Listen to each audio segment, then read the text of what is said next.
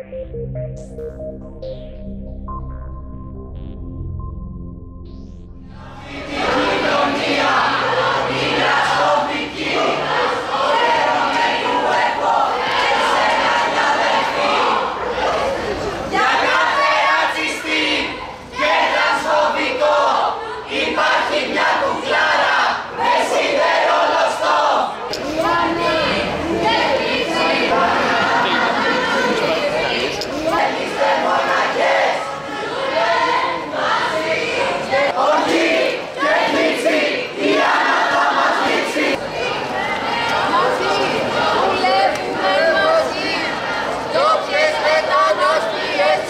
Τσακίζουμε μαζί.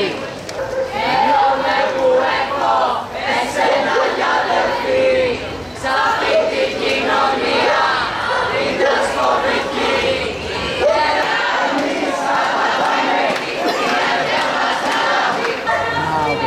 Είμαστε μαζί.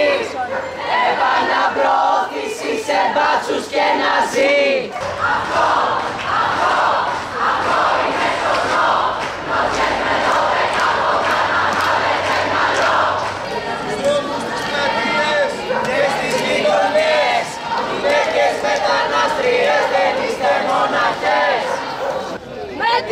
μετανάστριες είμαστε μαζί.